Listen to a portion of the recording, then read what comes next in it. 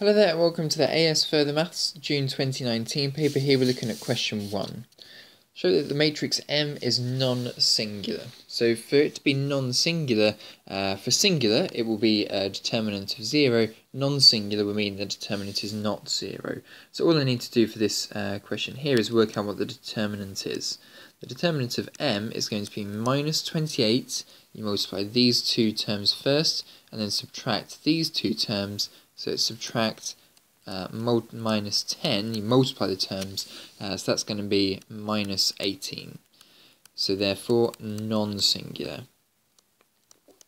Because singular would mean that that determinant equals 0. Let's move on to part B and C. The transformation T of the plane is represented by matrix M.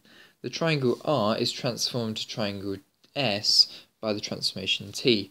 Given that the triangle, uh, even that the area of S is 63 units, calculates the area of R.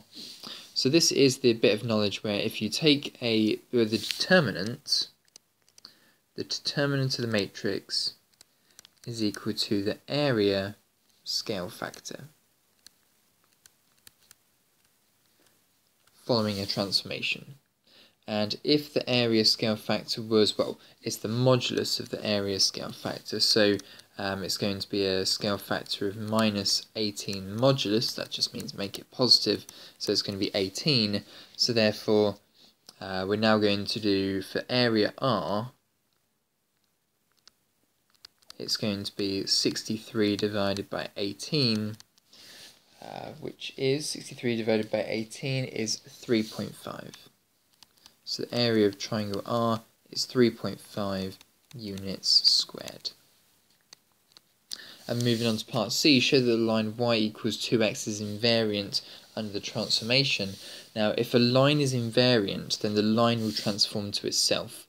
That doesn't necessarily mean that each coordinate on the line will transform to itself, but if it's on the line, it will transform to another point on the line, and the line will therefore remain um, itself.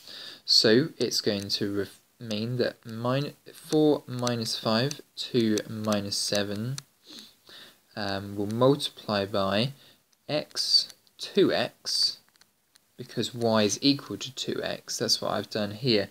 I've transformed the coordinate xy, but y is equal to 2x, so it's going to be x 2x onto another point on the line. That's going to equal some scale factor times x 2x. So it's still going to end up on the same line, but um, there's going to be some multiple from the from the initial point to the final point. But it should still be on the same line, x to x. So let's expand the brackets on the top. 4x minus 10x equals lambda x.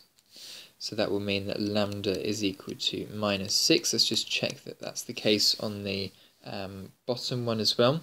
So it's going to be 4x minus 14x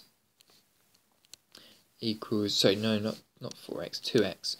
Uh, 2 times x minus 14x equals 2x. So therefore, lambda will equal minus 6 again. So therefore, when lambda equals minus 6, the line y equals 2x is invariant